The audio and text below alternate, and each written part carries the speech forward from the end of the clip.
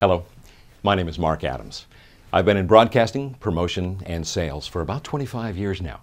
And over that time, I've had a lot of opportunity to engage audiences and clients and deliver messages in a variety of ways. In fact, everything from articulate authority to welcoming warmth. And even up to engaging urgency because now is the time to step up, to stand out. And if you're ready to stand out from the crowd, I'm ready to help. At the end of each sales presentation, if you don't mind, I kind of like to give my motto, which is live well and always give your very best. You can't go wrong. I'm Mark Adams. Thanks for taking a look.